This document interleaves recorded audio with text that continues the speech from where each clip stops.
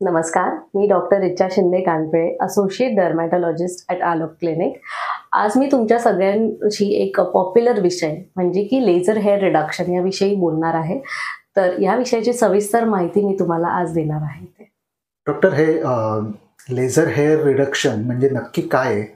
याबद्दल जरा डिटेल माहिती देऊ शकाल का? येस लेझर हेअर रिडक्शन म्हणजे नको असलेले केस आपण लेझरच्या सहाय्याने काढतो. जसं की अपर लिप्स आहे ॲक्झिला आहे. या सगळ्या एरियाजमधले केस जे आपल्याला नको असतात एस्थेटिकली प्लीजिंग नाही दिसत त्या एरियाचे आपण केस लेझरच्या सहाय्याने काढतो. हे परमनंट हेअर रिमूव्हल नसून हेअर रिडक्शन आहे. म्हणजे आपले जे केस आहेत त्याचं थिकनेस जे आहे ते कमी होतं. जे डार्क हेअर आहेत ते लाईटर होतात.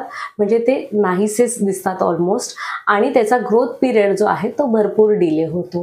म्हणजे जसं की जर का आपल्याला वॅक्सिंग दर पंधरा दिवसाला करायला लागत असेल तर जसे जसे आपले लेझरचे सेटिंग्स प्रोग्रेस होतात तसं तसं हे वॅक्सिंग आपण सहा महिन्यातनं एकदा किंवा वर्षातनं एकदा केलं तरी चालणार आहे. इतपत हे कमी होतं. म्हणून ही गोष्ट क्लिअर करणं खूप इम्पॉर्टंट आहे की हे परमनंट रिमूव्हल नसून रिडक्शन आहे. परमनंट हेअर रिडक्शन डॉक्टर हे कोणत्या पेशंट्सच्या बाबतीत आपल्याला करायला करायला तुम्ही ॲडवाईस करता? येस ज्या पेशंट्सला हे नकोसे केस परमनंटली रिमूव्ह करण्याची इच्छा असते त्यांना दुसरं म्हणजे काही केसेस असतात आपल्याकडे पी सी ओ डी जसं आहे किंवा हॉर्मोनल इम्बॅलन्सचे केस आहेत ज्यांना चेहऱ्यावरती नको असलेल्या ठिकाणी जास्त केस असतात. तर अशा पेशंटसाठी ही सगळ्यात योग्य ट्रीटमेंट आहे. पण एक महत्त्वाची गोष्ट लक्षात ठेवायची म्हणजे हे लेझर जे आहे हेअर रिडक्शनचं ते मेनली ब्लॅक किंवा ब्राऊन केसांवरती काम करतं. सिल्वर किंवा व्हाईट केसांवरती काम करत नाही. त्याच्यामुळे त्यामुळे आपले केस ब्लॅक किंवा ब्राऊन असतील तरच हे प्रोसिजर युजफुल आहे. डॉक्टर ह्याच्यासाठी काही जास्तीची सिटिंग्स वगैरे लागतात का? आणि मग दोन सिटिंग्समध्ये किती ड्युरेशन असायला पाहिजे? येस सो दोन सेटिंग्समध्ये साधारणपणे एक ते दीड महिना म्हणजे चार ते सहा आठवड्याचा गॅप असला पाहिजे. मानेपासून वरच्या एरियाजमध्ये जर आपण करत असू तर मानेपासून खालच्या एरियामध्ये साधारणपणे दोन ते तीन महिन्याचा गॅप असला तरीही चालून जातं. दोन सेटिंग्समध्ये तेवढा गॅप असला पाहिजे. मिनिमम सिटिंग्स रिक्वायर्ड आर आम्ही सिक्स असं सांगतो. सहा सिटिंग्स तरी कमीत कमी लागतात.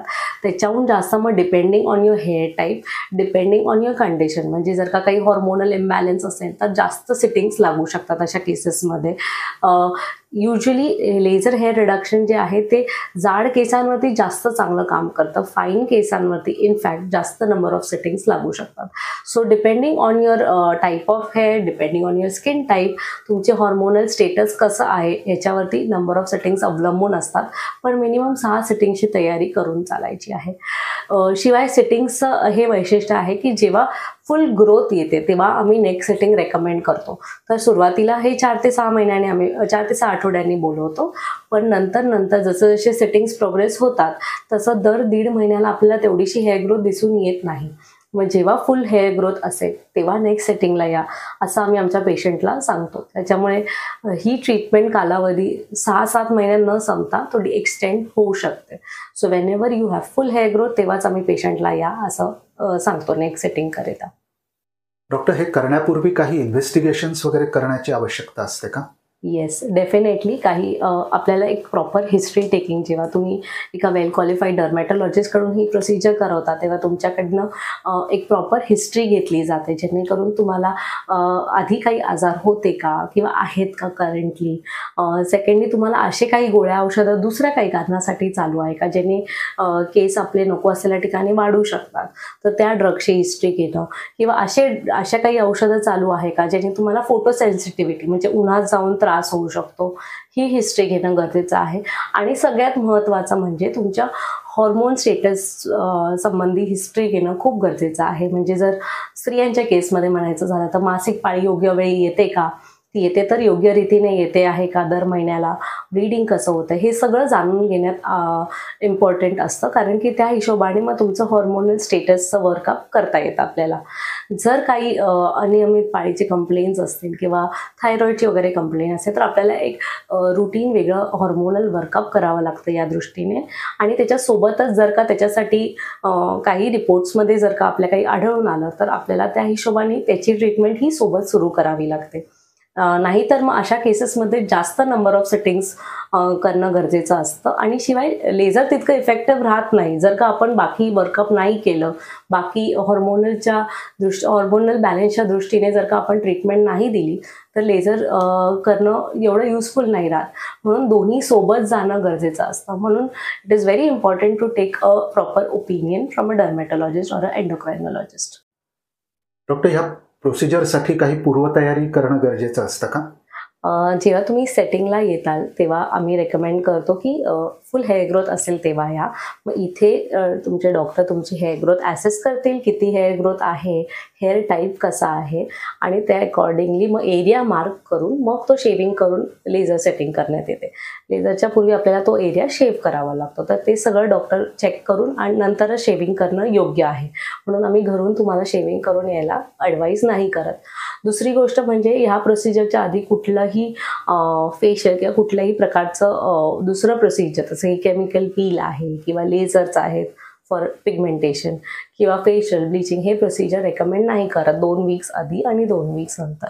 So usually you should not do that thirdly sun exposure जर का काही असेल तर ते थोडं कमी कमी करण्याचा आम्ही ॲडवाईस असं देतो या प्रोसिजरच्या पूर्वी. या प्रोसिजरला आल्यानंतर मग तुमचा सगळं एरिया ॲक्सेस करून तो मार्क करून शेव करून मग नंतर आपण लेझरसाठी प्रोसीड करतो.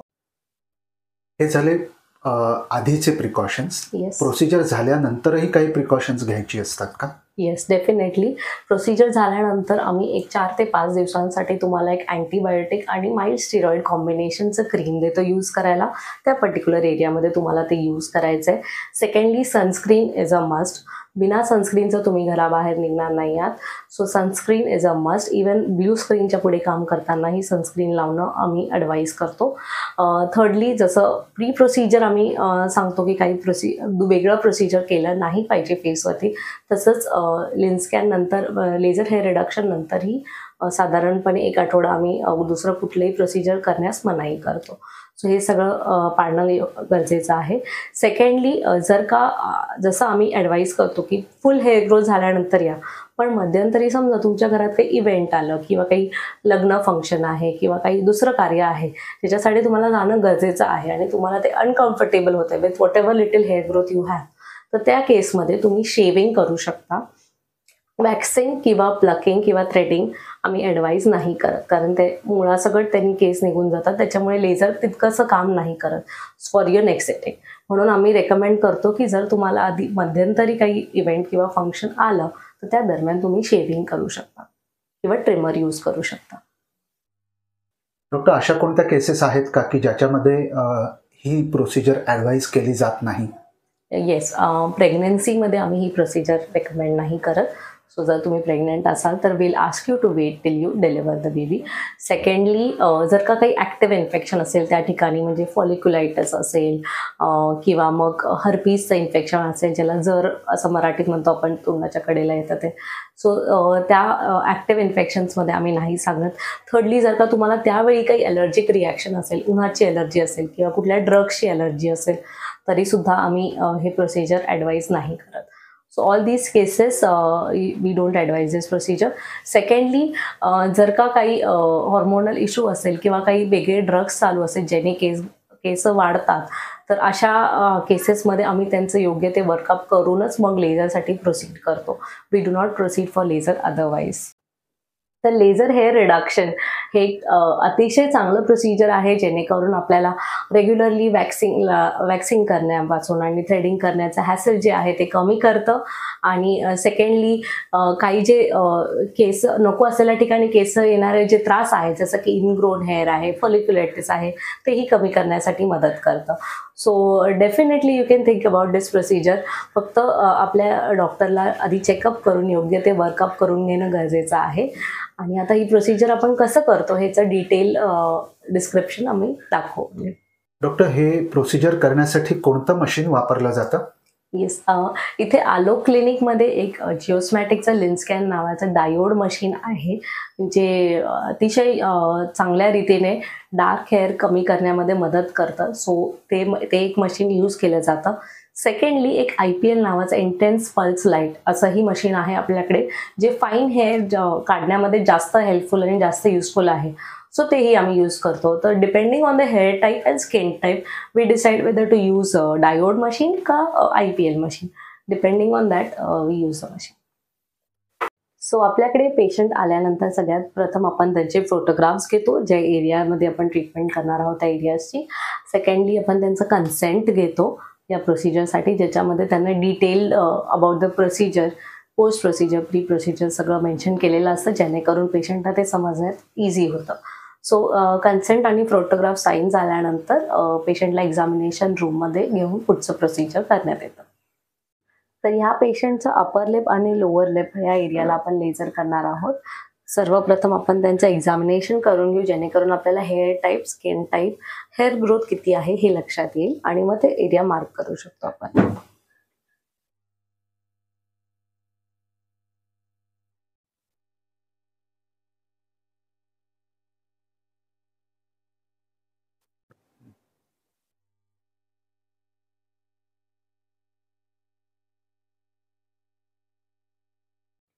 आमचं ट्रेन स्टाफ या ठिकाणी मार्क्ड एरिया शेव करताना.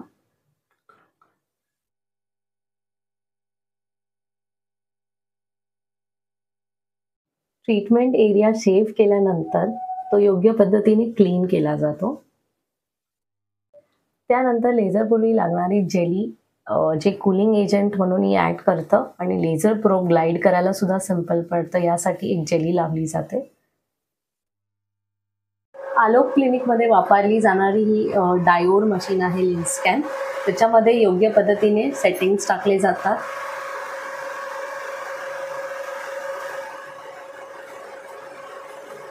पेशंट आणि डॉक्टर अटेंडंट सगळ्यांना प्रोटेक्टिव्ह आयवेअर घालण्यात येतं आणि मग आपण लेझर स्टार्ट करतो.